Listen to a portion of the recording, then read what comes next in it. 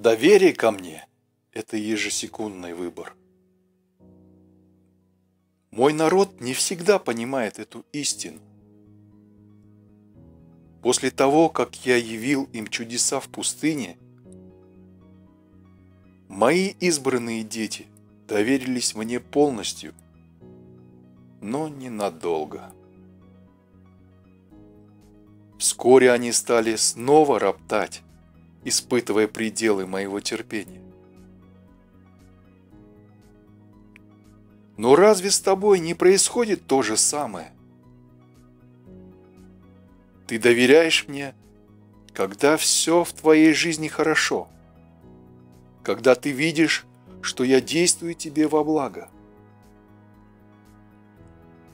В такое время доверять легко, потому что для этого не нужно волевого усилия. Но когда все идет не так – твое доверие иссякает, и в тебе возникает сомнение. Тебе приходится осознанно выбирать меня или откровенный бунт, отвергая мои пути для твоей жизни.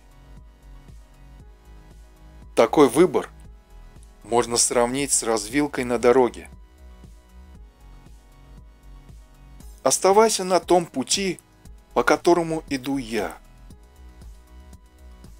и радуйся моему присутствию.